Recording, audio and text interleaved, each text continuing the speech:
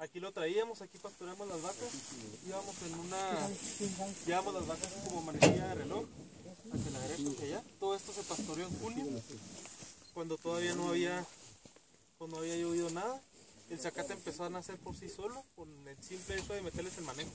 Aquí estuvimos suplementando proteína. Un poquito de proteína, por lo mismo que está seco el zacate. Entonces, para que las vacas pudieran completar su ciclo ruminal y dijera, mira el zacate, les implementábamos un kilo de proteína por vaca por día. Les dábamos pasta de soya, Un kilo de pasta de soya.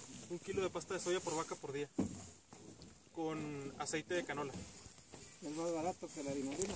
Sí, es más barato que la arenalina. Esto les cuesta como un peso 20 el kilo y la arenalina siempre anda un poquito más cara